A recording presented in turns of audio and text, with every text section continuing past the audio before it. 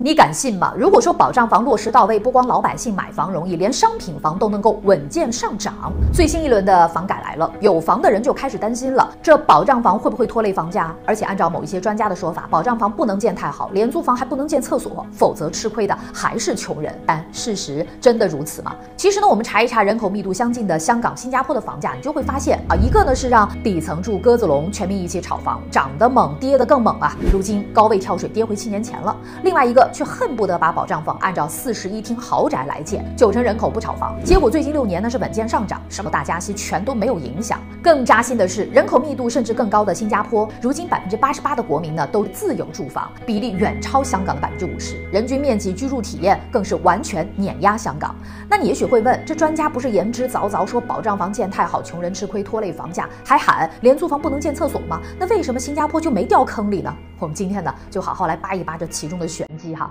在新加坡呢，商品房它是属于有钱人投资和消费的，只占到了居民住宅的百分之十六点五，近八成的国民住保障性的住房，也就是祖屋里边。它跟中国人想象的中小户型为主的经济房、廉租房完全不一样。祖屋呢，除了购买跟交易的限制，居住体验其实是不输商品房的。面积从八十到一百二不等，三分之一的新加坡家庭都居住在四居室的祖屋里，堪比香港豪宅的大户型了。而且呢，周边的公共设施配套齐全，超市、公交、医院、学校、托儿所一应俱全。跟国内的某些专家说的廉租房不该建厕所，也完全是另一个极端。这种设计的保障房呢，并不只是给你提供一块遮风挡雨、放床板的地方，而是鼓励上有老下有小的家庭入住，一户一套，既让你买得起，也有足够大的居住面积，满足三代人养老、结婚、生育的住房保障，间接降低了整个社会的隐性人口成本。比如说，针对养老，新加坡呢还有专门的老年人乐龄公寓计划。鼓励经济状况不好的老人卖掉自己的祖屋，以大换小，换成面积小巧、价格更便宜的公寓，手里边呢还能结余一笔钱来维持自己的日常开销，像极了国内专家们曾经提到的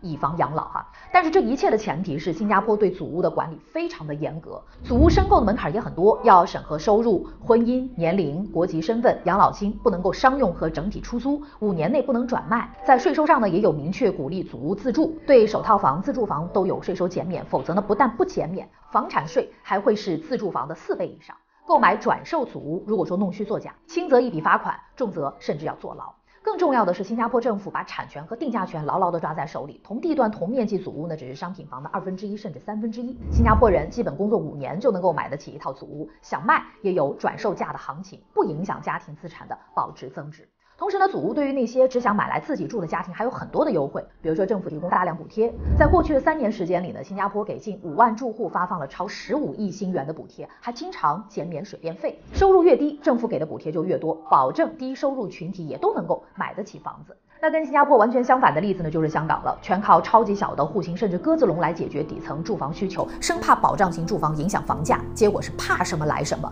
香港高昂的房价泡沫化严重，最近呢遇到了周期就要暴跌回七年前，而把保障房建得又大又完善的新加坡，房价不但没降，反而六年没有下降过，连祖屋的转售价都创下了新高。这其中的原因呢，就是新加坡没有靠投机泡沫抬高房价，而且呢在一开始就通过祖屋抓到了支撑房价最根本。的因素，经济基本面。一九六五年的时候，刚刚建国的新加坡呢，一穷二白，百分之四十的国民呢都是住在贫民窟、棚户区里，没有产业，没有收入，而且人心惶惶。李光耀想发展独立自主的新加坡经济，非常清楚，有恒产者才有恒心，所以提出了居者有其屋政策。为了筹集土地和资金，新加坡呢用市场价格的五分之一强行征地，打压土地投机，降低祖屋的成本，同时呢为住房公积金提供高存低贷、优惠利率的政策，存钱利息高。贷款利息低，吸引九成的新加坡人存公积金，祖屋建设资金问题就迎刃而解了。可以说呢，祖屋一开始就不只是单纯解决人睡哪儿的问题，而是新加坡一揽子社会问题的解决方案。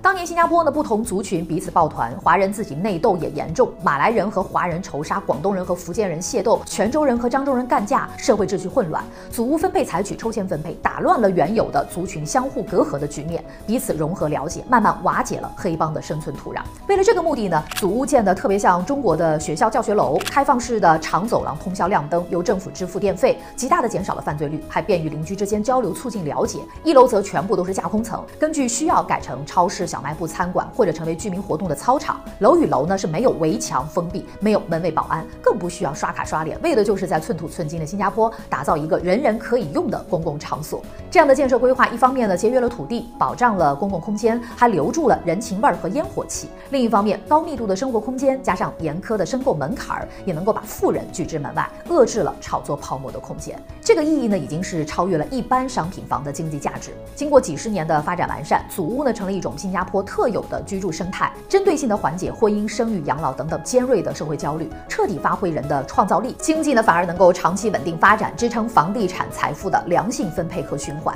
当投机性炒房被摁住，社会资金流向了旅游、服务、外贸、科技产业，不断的。吸引全球顶层人才和富豪进入，最后，即便商品房只占整个市场的百分之二十，也能够发挥巨大的财富效应，带动祖屋也一起增值保值。古人说，有恒产才有恒心。住房的意义呢，不是那几平米的水泥值多少钱啊，而是它承载的社会基层土壤够不够肥沃，能不能够孕育一个繁荣的经济体。当然了，因为土地面积大，城镇类型多，中国房地产的复杂远非小小的新加坡可比，但也可以从保障房“保障”二字的真正意义当中有所。启发，关注小姚，知性理性，更懂人性。